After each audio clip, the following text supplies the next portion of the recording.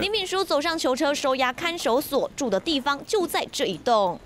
从高空往下看，林炳书所住的中三社名人套房就在四排房舍最前面一排的顶楼，一点八六平的社房。社会上头条的新闻，那或是说他是专案，或是他本身在社会上他是名人，通常在进见的时候都会尽量安排到中山社集中管理。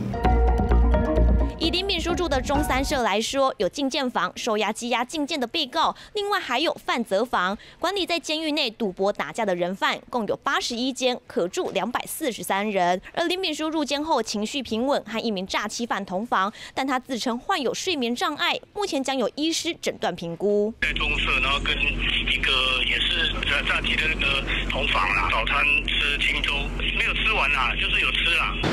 十三年前，前总统陈水扁也曾住在看守所内的中三社。除了他以外，行政院前秘书长林义士、东森国际前董座王令麟、副少李宗瑞、调查局前局长叶盛茂，不是高官就是富商富少，个个大有来头，全都曾住在名人套房。比如说家暴或者是性犯罪相关的案件，在里面比较会被排挤、被瞧不起。林炳书涉犯七大罪，现在人狼狈进到看守所，也让名人套房再添新成员。三立新闻黄金城、林玉君台北采报道。